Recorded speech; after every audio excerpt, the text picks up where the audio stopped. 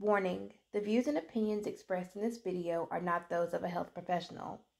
Please make sure to consult your physician before beginning a new health regimen. Welcome back, y'all. Welcome back, y'all.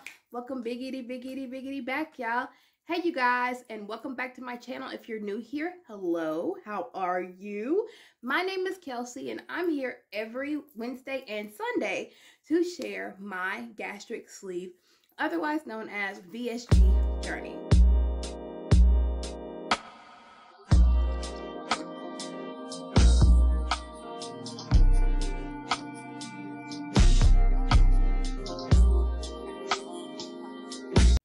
It's my hope that through these videos, you're able to find the answers to questions that you were looking for and couldn't find, or the path to surgical weight loss is made a little bit better.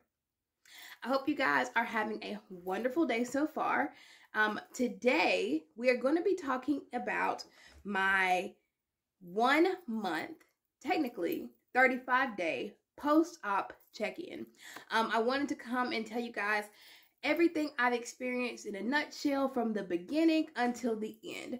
Um, I hope that you guys are in, you know, you're ready for a good long video. I've got my magical notepad of notes here and it just may be a long ride. So as Wendy Williams would say, grab a snack and come on back because we're going to be here for a minute. If you're not here for the longer videos, that's okay. I get it. Um, but this one, I just couldn't get everything I needed in 10 minutes. So if you're not interested in my longer videos, check out the ones I have down below. There's plenty of ones that are shorter than this. Um, but I just wanted to make sure that you guys get all of the information that you need. So I'm going to go ahead and get started. So today is my one month post-op check-in. Technically, I'm 35 days in. Um, the stats about my surgery. I had my surgery on February the 5th, 2021. And before, um, I was kind of hesitant about releasing my surgeon's name, but I've had so many people ask, so I'm just going to go ahead and release it. Um, I had my surgery with Matic Madikin. Added to the dictionary of words that no one knows are. Let's put it in there. Madison Surgical Associates with Dr. Ravindra Malapur. Um, he's very well renowned in my city. He was actually recommended by a person that I went to high school with. She had the VSG surgery and she looks fantastic. Um, and I really felt that he was a good fit for me. I had my first consultation with him. He was very open, very honest. His staff were friendly. Um, and I felt comfortable with him being the person who had my life in his hands. And as I talked about in previous videos, it's really important that you trust the person who is going to be doing your surgery. Um, my starting weight at the day of surgery. Now, starting weight and highest weight, they were the same because your girl did not actively participate in a steady pre op diet, nor was I required to. Um, I don't know why I wasn't required to lose a certain weight. I don't know what the difference was with my situation because I know some people say, hey, before I can even have the surgery, I've got to lose 30 pounds. That wasn't a requirement of me. Um, my highest weight and the weight of the day of my surgery was 330 pounds, 330.3 pounds. Um, as I said, I didn't have a successful pre-op diet.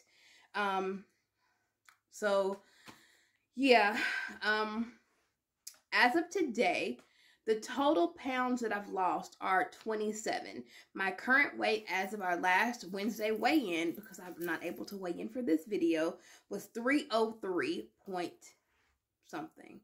Um, so that's right at 27 pounds. um, I do want to talk about the pain after my surgery. That I really feel like I have a high tolerance for pain. Um, I didn't have much pain. Now, I know some people who are in excruciating pain after the surgery, who can barely take it, who can barely stand up, who can barely walk. And you know, everyone's walk is going to be different. But for me, I was up and walking. it's just letting me know that I hit my 4,000 step mark for the day. Um, my walk was different. I was out the same day of surgery walking my backyard. You know, I think I walked my backyard 15 times that day. Um, before surgery, I was prescribed oxy, I'm sorry, yeah, oxycodone 5 milligram, 5 milliliters, taken every six hours.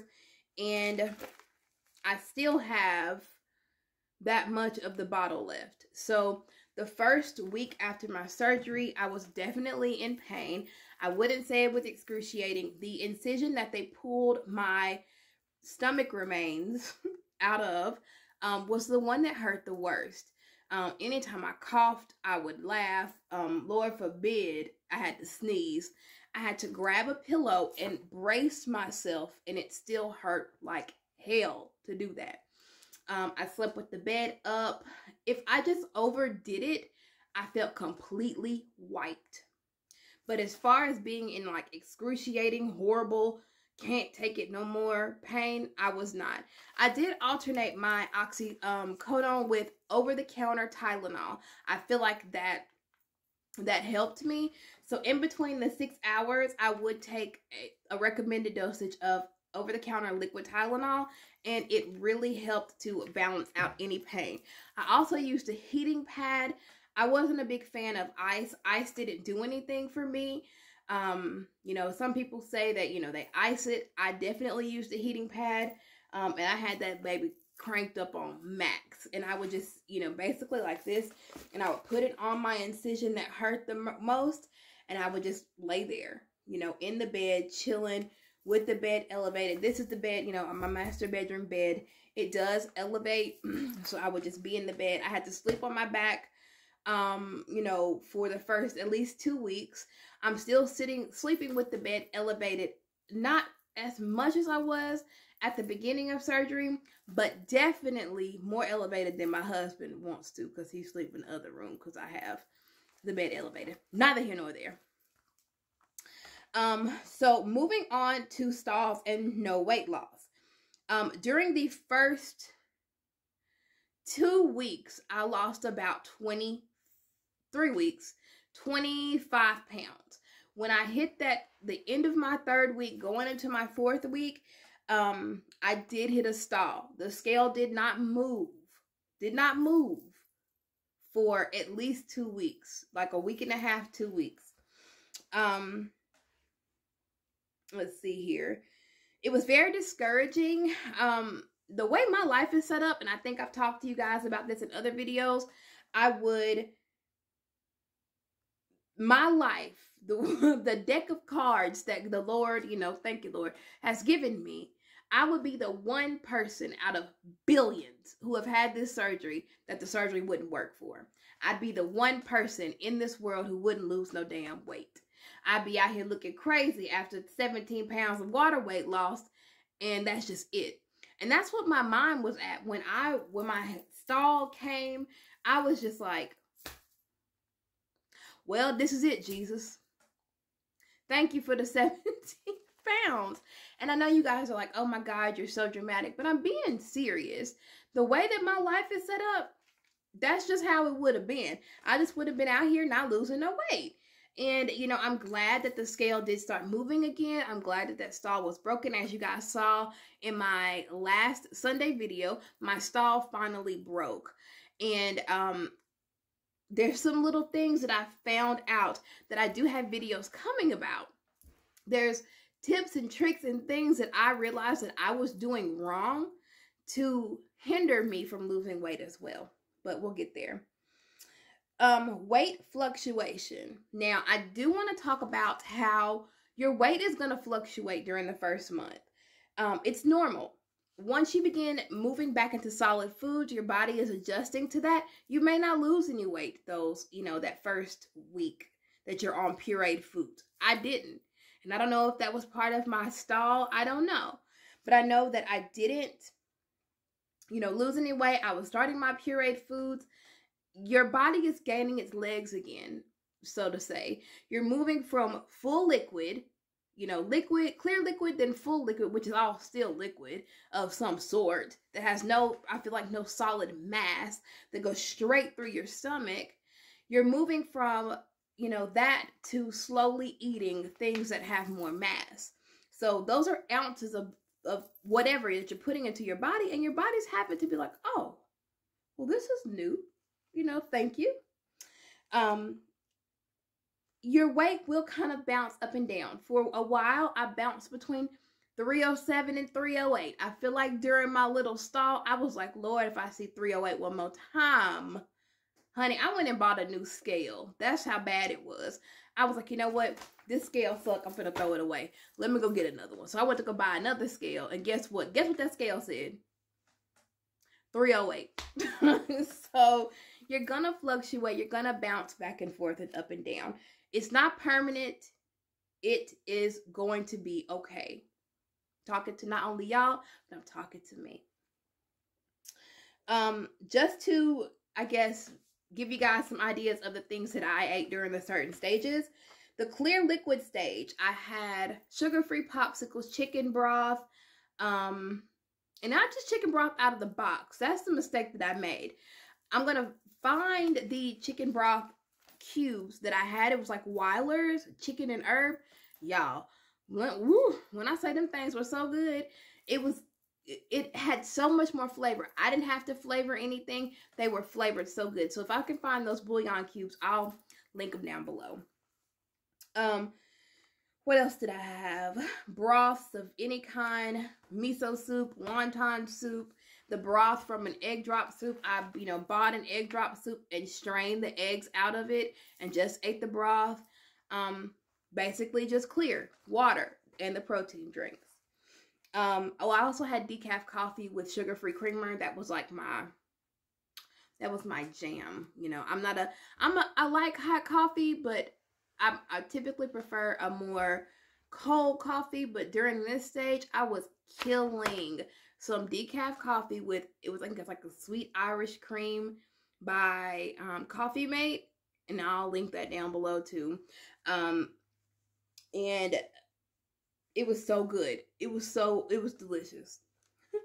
Moving to the full liquid stage, at stage, I did go to the Progresso soups, like the potato, loaded potato soup and broccoli and cheese soup and cream of mushroom soup. I had a golden mushroom soup.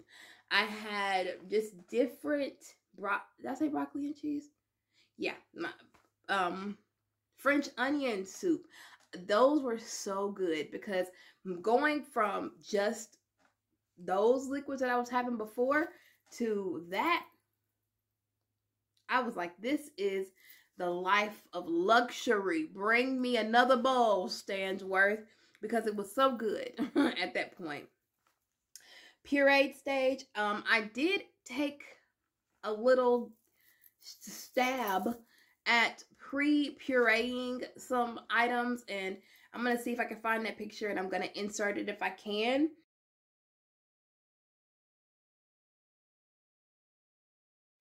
um that was a waste of time because I made a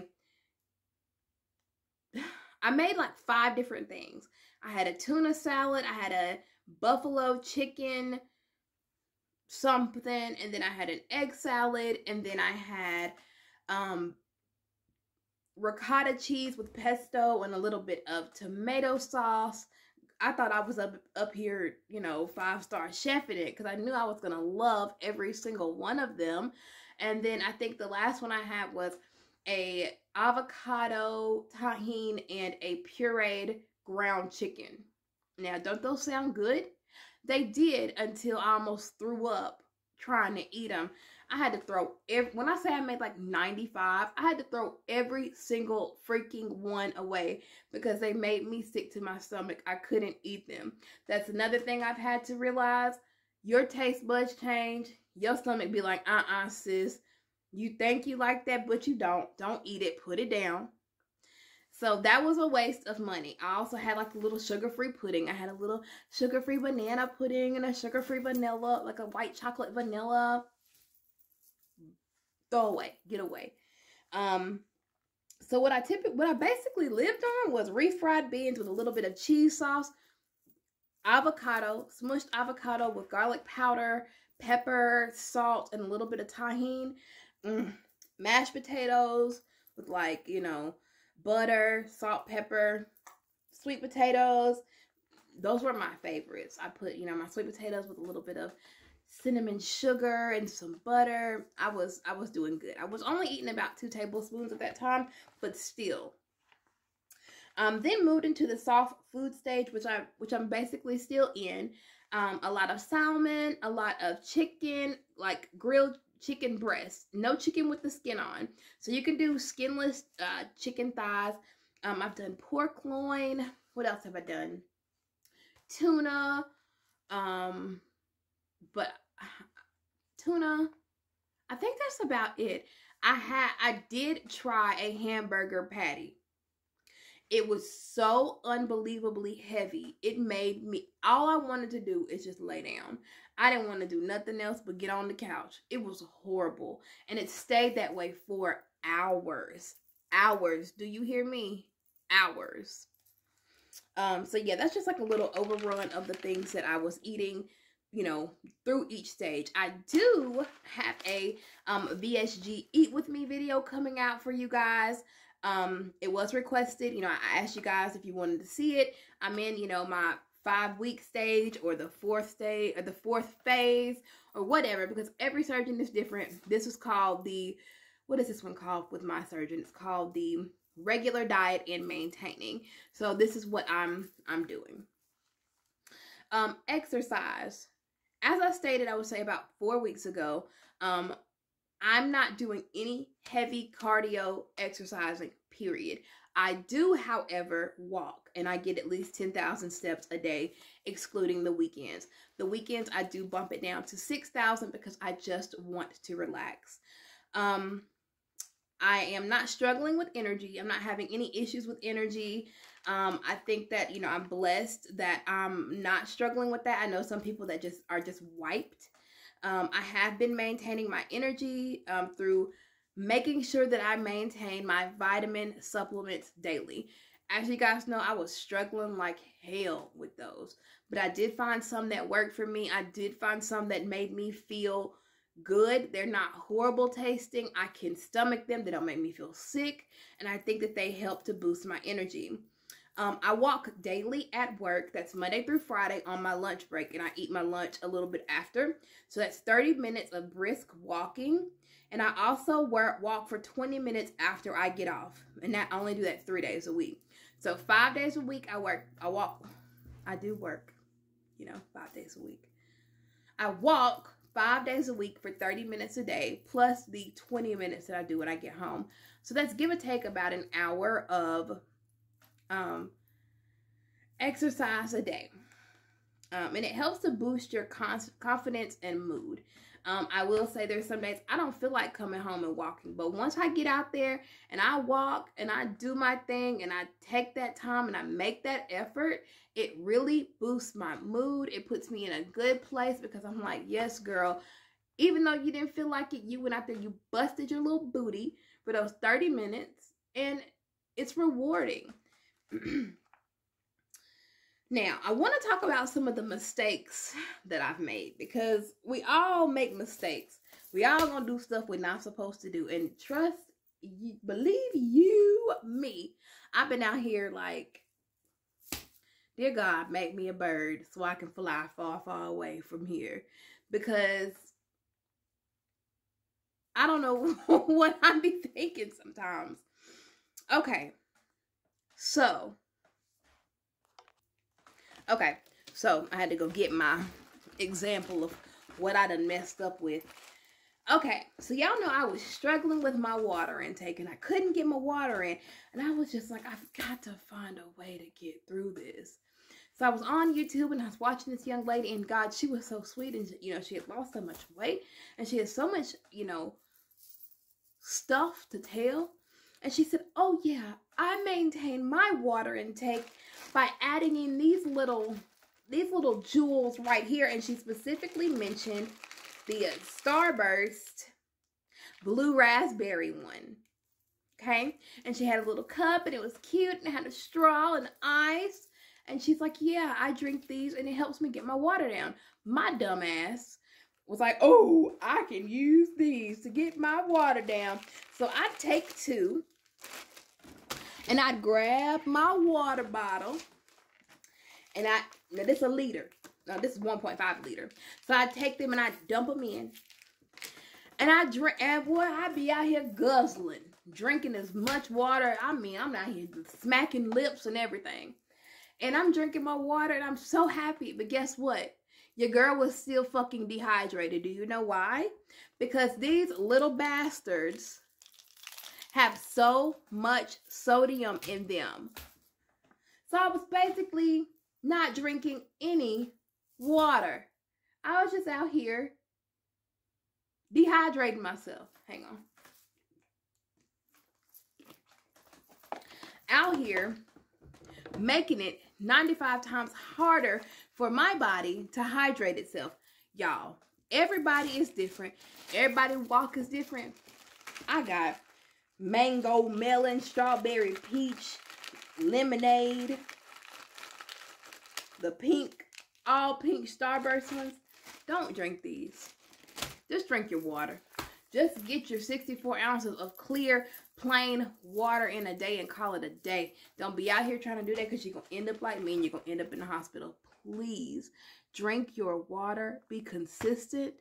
Don't add nothing to it. If you want to add some lemon lime slices and maybe an orange slice, by all means, do that. But do not add those packs because they are not good for you. Um, the next mistake I made, I eat too fast, or I, I was eating too fast.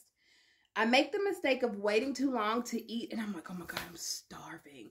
Because contrary to what people are saying out here, you do get hungry and it comes it comes back with a vengeance. Because you know for those first three to four weeks you're kind of like mm, i don't have to eat. I'm okay. It's not a big deal. But as the time progresses your stomach and then i think it's called ghrelin ghrelin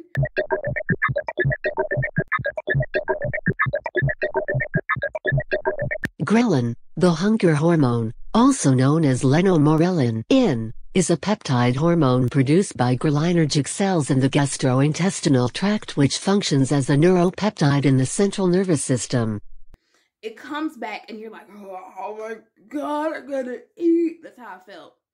Like like the Hulk when he's changing, you know, from the man to the never mind. Um, I'm like, oh my God, I've got to get something in my stomach right now. And so I'm having to cook dinner, and that's not it's not time to eat. And so by the time I sit down and eat, I'm like chewing too fast. And boy, when I tell you it's a miserable feeling, I don't care if you chew that food down to water consistency. If you eat and swallow, eat and swallow, eat and swallow too fast, it's going to sit right here. And it feels like pressure. It feels uncomfortable. All you want to do is lay down. It lasts anywhere between 30 minutes to two and a half hours. Take your time. Make sure you're getting your snacks in because if you don't get your snacks in, that's why you get hungry. And make sure that you're getting your protein. Protein is going to help you to maintain that full feeling longer. Don't eat fast. Take the time to savor and enjoy your food. Um, I think that's all that I've struggled with. Um, of course, the cravings, I've told you guys about that. They're not going nowhere. They're here to stay. You've got to find healthier alternatives to dealing with cur- curbings. Curbings. I wish I knew how many words we were up to. If anybody could tell me how many words we are up to and I can fact check it, I want each of the words listed. One, two, three, however many more, I will cash up you $25. So, to anybody who's watching, the first person who can fact checked that provide a fact checkable list of words that don't nobody understand what the hell they are drop them down below and i will cash up you $25 okay. Um next your stomach makes so much noise. Um it's kind of embarrassing because people always think you're hungry. You're not hungry but they think you're hungry because your stomach's like and i'm like i could drink water I could, you know, just anything. I'm putting a bite of food in my mouth, ain't even begin to chew it. And my stomach's like, and that's new to me. Um, when you get too full, your body you'll hiccup. And it's not just like a normal hiccup, it's like Ew! and so people either think I'm throwing up or dying or choking. So my husband's always like, You alright in there? Um, yeah, it makes you hiccup. You will hiccup. And I think that's just when you're full. That doesn't mean when you overeat. It's just, you know, it lets you know you cut that off. Um what I eat now in my fifth stage of of life when I'm moving back into my normal everyday and I'm moving into that maintaining stage. Um, as I stated before, I do have a video coming out for you guys um, of what I eat. Um, right now, I'm doing protein drinks. The one that I did find was really good, and I'll link it down below, is the Core Power Elite Chocolate Shake. It's 42 grams of protein, and I do those daily. Um, I do lunch meats, um, thinly sliced. I really like honey turkey. It's like my favorite. Cheese. Cheese is like my, like, I love cheese. It's like a lifesaver. Any type of cheese. Pepper jack, Monterey jack, Colby jack, mild, sharp, really sharp. I don't care for like Velveeta, you know, none of that. Um, string cheese, cottage cheese. Y'all already know how I feel about cottage cheese. Um, basically just cheese in general. I'm still doing my cottage cheese and peaches. That's a daily thing. Um, I am doing smoothies um, and I'm using the Isopure protein powder. So I was doing the Core Power Elite. Um, I am now doing the Isopure protein powder um, because I do feel as though I want something different. I really like the Core Power shakes. There's nothing wrong with them. Um, I may do one every now and then. They do pack more protein punch, but um, I do prefer um, to make a smoothie, and I'm doing smoothies with kale, spinach, and different fruits. I'm also adding fiber powder, Greek yogurt, a little bit of lactose-free milk, um, and water into those, a little bit of honey if needed. It just depends on what kind of, you know, smoothie I'm making. Um, and I am maintaining that 64 ounces of water. Next week, it is my plan to move up to 74 ounces of water. I'm trying to add in 10 ounces of water a day extra. So for a while, I could only hit 50 ounces. And I'm talking, and that's like me drinking from the time I wake up till the time I go to bed. I could only get 50 ounces of water in. Um, but I'm doing, you know, more and more. I really like eggs. I didn't like eggs so much before my surgery. They're so good to me now. Um, my favorite thing to make, I love to like squish up or like chop up some lunch meat, um, any type, add it in um, with, you know, a little bit of spinach, green onions, you know, I'll chop those up pretty fine, and some cheese, of course. Scramble them up, basically like a little scramble or an om omelet. Those are really good. Another way I like to eat them, I will scramble them, add in some feta or goat cheese, pesto, and spinach. You know, and if I want to add in a little bit of meat, I'll add that in as well. It just depends on how I'm feeling. Sometimes I just like those as are. Um, normally I don't eat more than one cup of a food, one cup of food at a time. I made the mistake one time of eating a full cup of cottage cheese, and I was like, woo, I don't know if this is throw up or what, because I was struggling. So and and when I and I really try to stay around a fourth of a cup, maybe like a little bit more than a half. I don't. It just depends on how I'm feeling or how hungry I am. Um, ground beef is still a no go for me. Beef is still a no go for me. It's too heavy. Um, it just kind of sits there, and I don't like that feeling. I do like ground chicken, ground pork. Um, as I stated, pork loin um, baked, grilled, sauteed, um, fried, not fried, pan seared chicken and salmon. And what else? That's about it. Um, but to be able to get through this stage, you have to be creative. Me, I get out there on YouTube, I search around, I look at people's videos, I watch other people's videos, I get ideas from them. If I ever make something for you guys, I am going to tag them. I try to give people their props where props are due. Um, but so far everything has been has been me and what I've been what I found out. But if I do like make a recipe or something that I've gotten from somebody else, I will make sure to tag that channel or that person. Um, you have to be creative. YouTube is like the number one source for me. Of course, I'll Google, but I prefer, I'm a visual person. So I like to watch people cook their meals. And I base a lot of my eating off of keto. Um, keto is, as I stated, a high protein, moderate fat, low carb diet. Um, and that's basically what I do with my bariatric, post bariatric surgery. So we've come to the bottom of my list. Um, so I've been asked before, what am I doing to care for my incisions?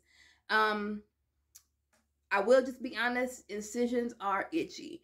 They are itchy like hell. I swear to y'all, I be wanting to scratch my whole skin, stomach in half from the inside out. but um, the two things that I am using, that I use on a daily basis, I was using these two things before, but I use them more now. I actually had to buy a new box. This is Bio Skin Oil. Come on. There we go. Bio Oil. Bio Oil, it's a skincare oil. It helps improve the appearance of marks and marks, scars, and stretch marks. Um, it's good for uneven skin tone, for aging and dehy dehydrated skin. Let me pop this open for y'all. I got this at Walmart. You can get it at Ulta, um, Ulta, or I think Target. Um, and for this bottle, it was nine dollars. Um, the second thing I'm using, I am using the, you know, tried and true Palmer's cocoa butter. I use this in my daily life before, um, but I use it more now. And this it heals and soften rough, dry skin. So, so yeah, these two things really help me. Um, I'll show you guys my scars in about another month, you know, give or take. But anyways, I hope you guys enjoyed this video we on 31 minutes now, so I'm gonna go ahead and skate on up out of here because I know you guys are tired of me. If you have not and you would like to, please make sure to hit that subscribe button. I would love to have you here. Come be a part of the K gang, baby. We are here. We support. We love. Anybody is welcome. You know, everybody is so supportive. You guys support me. And I do want to say that. Thank you guys so from the bottom of my heart. Thank you guys for the support, for the love, for the encouragement, for everything that you guys give me every single day. You guys have no idea how wonderful you truly, truly, truly are. You have a special place in my heart. You are my family, and I love you guys more than you will ever, ever, ever know. If you like this content, please make sure to hit the like button. It lets me know I'm doing it okay, John. Okay. So hit the the like button. Let me know that you like it. Let me know what you guys want to see. If there's any questions you guys have any, you know, that are just burning that I'm not hitting, that I'm not covering, let me know. Um, it really will, you know, it kind of guides me into feeding you guys. Um, and now we've come to that time in the video where I leave you guys with a positive quote for the week, hoping that it helps you get through the week in a positive and enlightened way. Give me just a minute. I got to get it off of my notebook. All right, so I did go and get my notebook. I threw it back there because. And to this week's quote is, "Let all that you do be done in love," and that is Firth. Firth. Don't you guys just love me? I'm gonna try this again.